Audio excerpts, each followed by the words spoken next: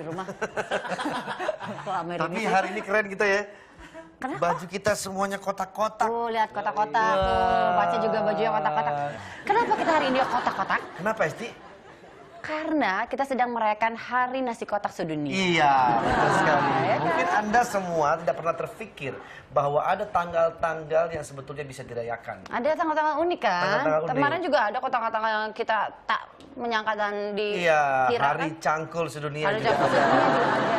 Oke, tak terasa ya kita lusa akan uh, rayakan Hari Raya Idul, Fat- Idul Fitri. Iya. Ya, Lebaran. Aduh, sebentar lagi lebaran. Ah, Yes, Oke. dua hari lagi. Ayo, pertahankan puasa kita jangan sampai uh, batal ya. Iya. Aku sih udah nyiap-nyiapin Isti. Mm-mm, karena baju baru? uh, baju baru udah. Wah, tipe kalian emang nyiapin Ya, baju baru. maksud kayak gini nih, aku udah siapin. Ini sebenarnya baju dari dua tahun yang lalu, cuman aku baru pakai sekarang.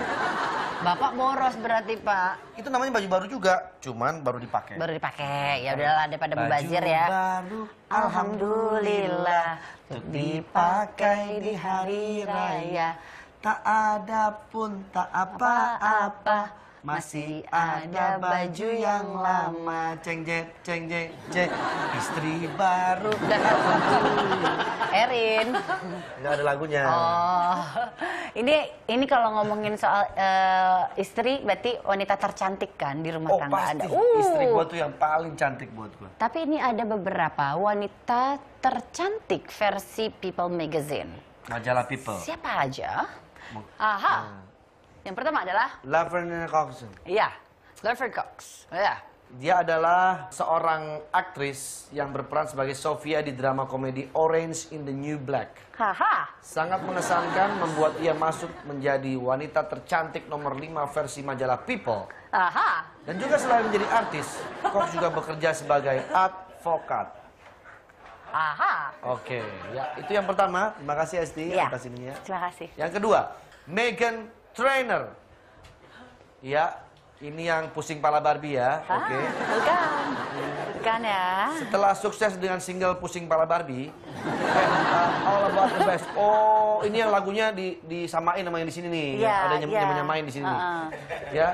eh, karir Megan Trainor terus bersinar. Aha. Dia bisa membuktikan untuk menjadi wanita cantik, tidak harus langsing. Ha. You know I'm the best, The best, but the best, no trouble. I'm all about the bass, but the bass, no trouble. I'm all about the bass, but the bass, no trouble. I'm all about the bass, but the bass. No travel. No travel. Berarti nggak ada travel ya? Nggak ada travel. Dia dia Berarti booking. nggak nggak lebaran dengan mudik. Nggak dia booking sendiri. Dia no travel. Bagus nih Esti nih mer- merayakan kayak gitu ya. Iya. Oke selanjutnya. Taraji P. Henson. Di Aha. usia yang 44 tahun, artis Hollywood ini tetap terlihat cantik membuat Henson menjadi salah satu wanita tercantik. Salah, salah. Itu yang itu. Aha. Ya. Itu ya. Ha ha. Nah, selanjutnya Gigi Sugigi. Gigi Hadidi. Oh iya. Gigi Hadidi mo- model berusia 19 tahun ini Aha. Selain cantik juga dalam urusan bisnis, dia juga sangat ramah dan menonjol di bidang fashion. Aha. Tidak heran, Hadid menjadi wanita tercantik number two versi majalah People. Kita tungguin aja nih. Ntar lagi juga buka puasa dia. Terakhir ada Sandra Bullock. Meski umurnya sudah 50 tahun, Sandra Bullock dinobatkan menjadi wanita tercantik number one Ah. oleh majalah People. Aha. Rahasia cantik Sandra Bullock ini luar biasa sekali. Cukup menjadikan pribadi dan ibu yang baik. Ah. Nah, Aha. jadi itulah dia. Terima kasih Esti. Sandra Bullock berada di urutan pertama. Oke. Capek ya. Ada seret gitu ya. Kenapa ya? Oke, selanjutnya. Ya udah deh. Baiklah, kalau tadi kita bicara soal wanita tercantik versi People Magazine, kalau ini pria terganteng versi wowkece.com. Yang pertama adalah Zayn Malik. Pesona mantan personel One Direction ini memang memikat banyak penggemar wanitanya. Apalagi wajahnya perpaduan Eropa dan juga Arab membuat Zain menjadi pria impian eh, pria tertampan nomor satu versi wowkece.com. Ganggu ya. Oke, berikutnya Omar Borkan Al-Gala. Ah, ini adalah pria asal ini Emirat Arab yang pernah diusro ya, diusir. Ah, pergi lu sana, diusro ya. diusir dari sebuah event karena dianggap terlalu tampan dan bisa membuat wanita-wanita tergoda. Bahkan ada wanita kaya yang memberikannya mobil mewah karena tersepona dengan wajahnya.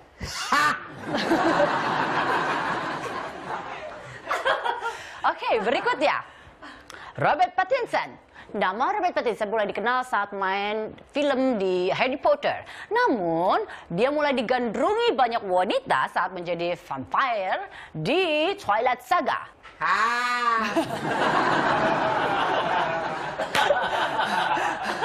Aduh, saya sedih banget.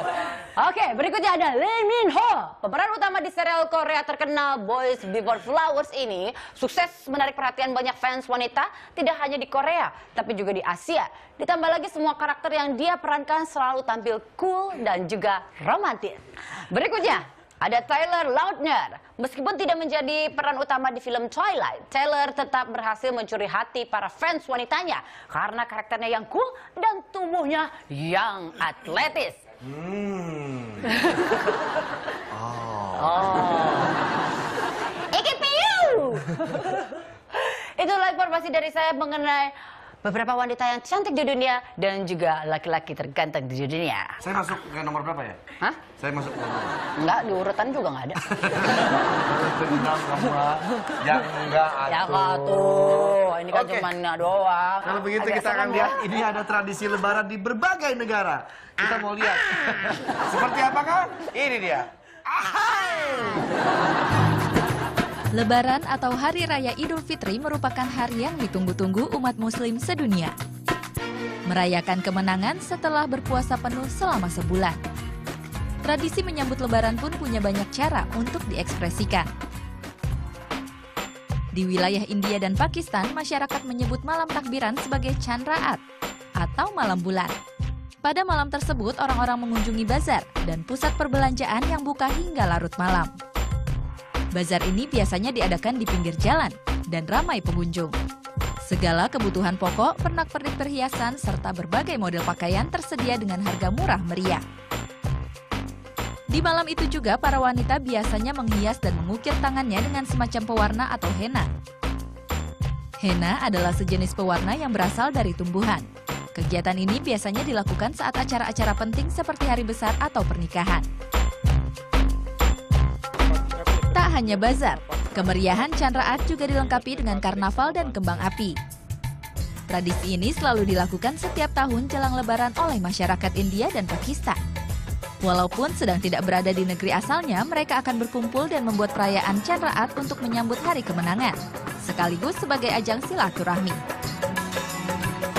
Setelah berkeliling bazar, masyarakat India dan Pakistan akan berkumpul di rumah untuk berdoa. Dan kemudian menyiapkan makanan untuk hari raya esok. Malam sebelum lebaran selalu ditandai dengan kumandang takbir menyambut hari kemenangan. Dan di Indonesia ada tradisi mengadakan takbir keliling. Takbir keliling biasa dilakukan dengan pawai di jalan, membawa obor, menabuh beduk, dan berseru pujian kepada Allah. Orang dewasa dan anak-anak antusias berarak sepanjang jalan.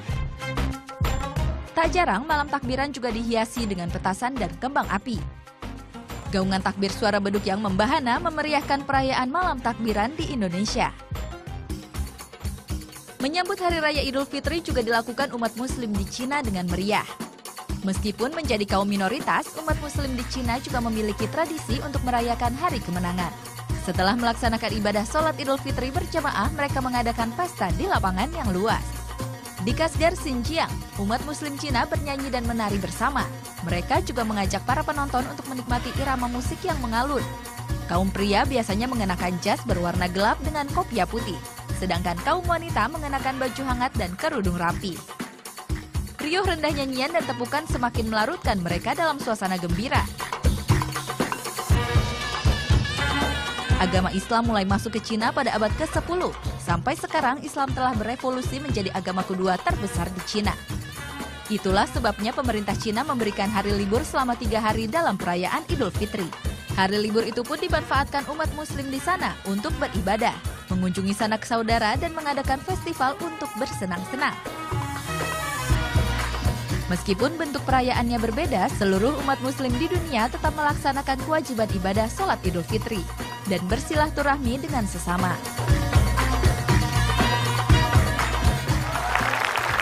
Jadi ngomongin soal uh, berbagai berbagai macam negara untuk menyambut hari raya Lebaran ya hari raya Idul Fitri itu seperti apa ternyata berbeda-beda. Tapi kurang lebih sama lah. Ada bazar, ada macam-macam. Dan saya tuh kepengen banget deh eh, lebaran atau berpuasa di Mekah. Oh iya, Iya, katanya dengar-dengar di sana tuh waduh, Luar semua biasa. orang ketika berbuka puasa berlomba-lomba untuk memberikan makanan Oh, ya. makanan. Makanya kemarin tuh sempat lihat di petnya Fitrop ya. Hmm. terus di sana dia lagi umroh di sana kan lagi umroh pas bulan puasa. Hmm. jadi pas ngeliat kalau pas saat ajan maghrib apa pas buka puasa itu makanan tuh sampai banyak banget.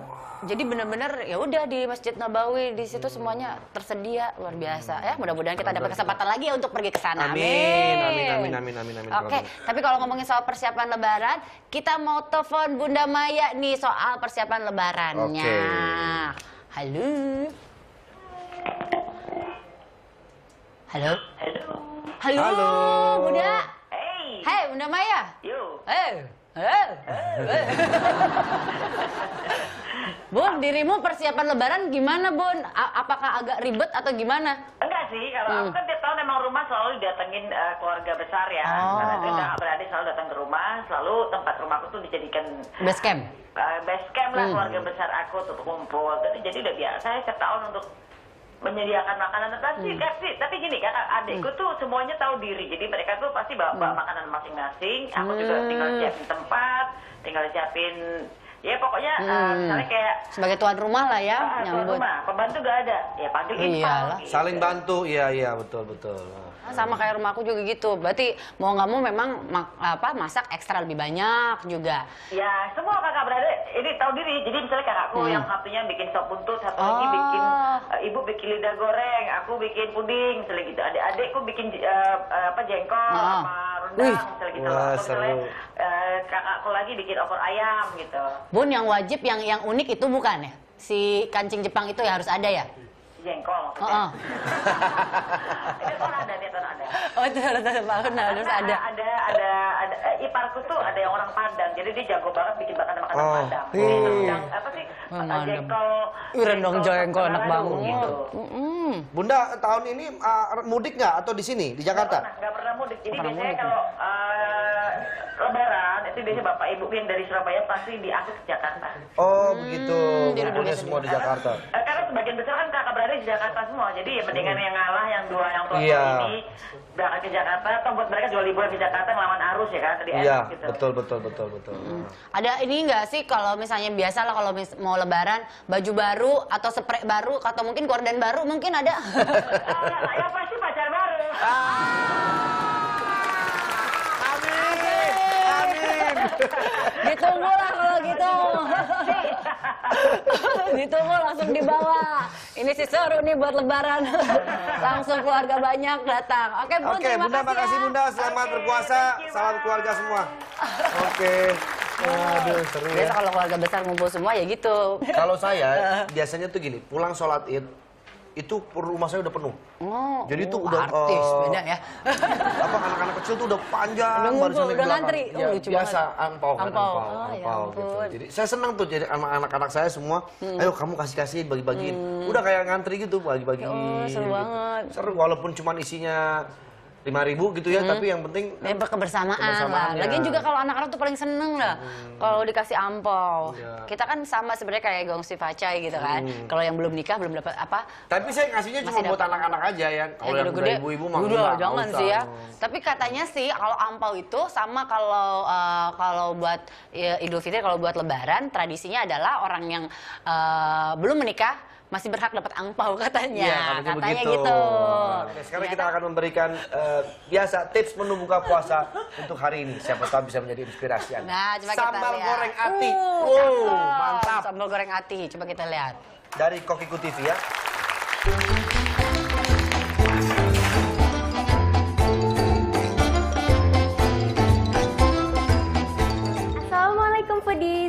Chef. Di menu khas Ramadan kita kali ini, saya akan memasak sambal goreng ati.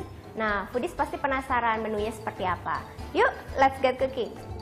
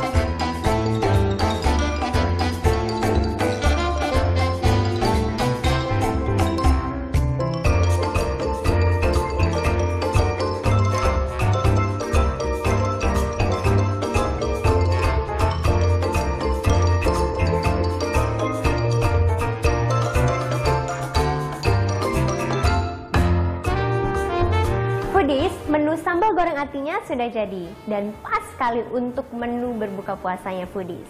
Nah, untuk resep lengkapnya silahkan kunjungi di www.kokiku.tv dan juga jangan lupa untuk subscribe YouTube channel di bawah ini.